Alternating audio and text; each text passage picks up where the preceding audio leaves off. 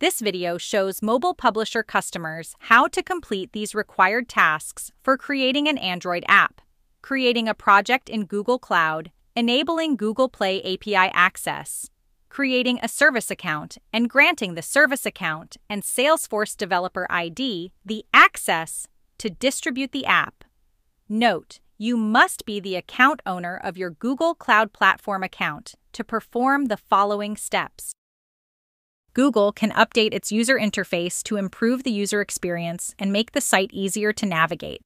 These updates can include changes to the layout, structure, and design of Google Pages. In some cases, left hand navigation menus can also change. Mobile Publisher tries to keep our documentation as up to date as possible. You cannot use personal accounts and need to have a verified organization account. Let's start with creating a Google Cloud project. Log in to your Google Cloud Console, console.cloud.google.com, using the same email associated with your Google Play Console account. In the search bar, search for Create a Project fill in the project name, and click Create. You can skip creating a new project if you want to reuse an existing project from your Google Cloud console. There's a project drop down field at the top of the page in your Google Cloud console. Now, let's enable the Google Play Android Developer API. The easiest way to locate this is to search for the API. Choose APIs and Services, then Library from the left navigation bar, and search for Google Play Android Developer API. Select Google Play Android Developer API in the results and click Enable. Now let's create the service account. From the home page, search for service accounts in the search bar. Select Service Accounts, IAM, and Admin. At the top of the page, click Create Service Account. In the Service Accounts Detail section, enter the service account name. Enter a name that represents the app you're creating. This name is not visible to your end users. Note that this field automatically populates the service account ID. Click Create and Continue. This next step is very important. In the Grant This Service Account Access to Project section, select the role dropdown and enter Service Account User in the filter field. Select the role Service Account User role. Verify that the role drop-down field now shows Service Account User. Click Continue and then Done. Important.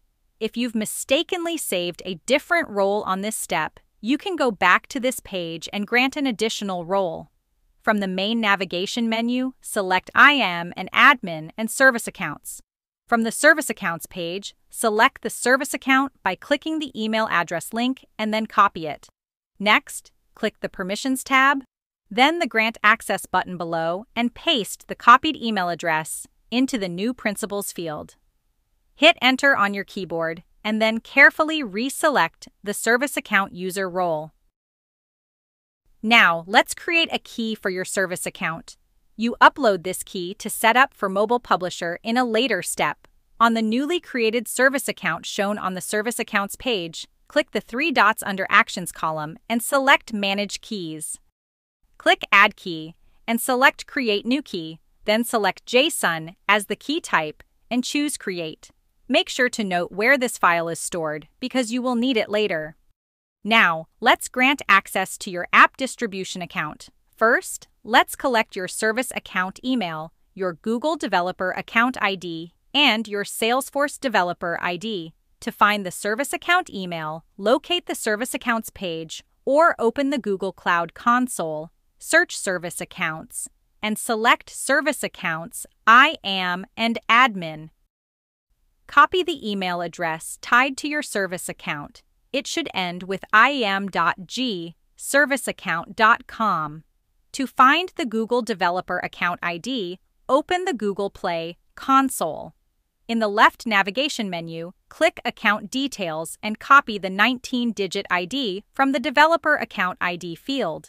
If you don't see account details or your Google Play console is a personal account, stop and contact Google.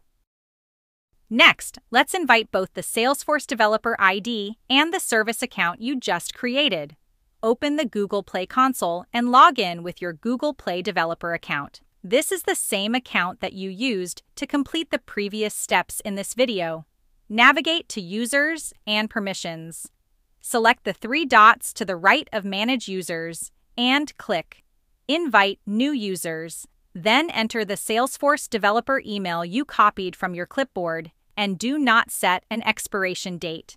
Salesforce provides the Salesforce developer email address when you select an app distribution type.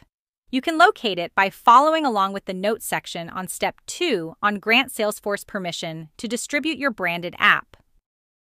With the App Permissions tab selected, click Add App below and select the placeholder app you created, then click Apply. In the pop-up window, select all permissions except for admin. Repeat these steps from the Invite New Users button for the service account that you previously created you apply the same permissions as the Salesforce Developer ID user. You've just created a project in Google Cloud, enabled Google Play API access, created a service account, and granted access to the service account and Salesforce Developer ID. Make sure to watch the next video. Register your Firebase app to enable mobile publisher Android push notifications.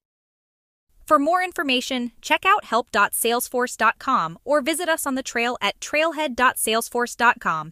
Thanks for watching.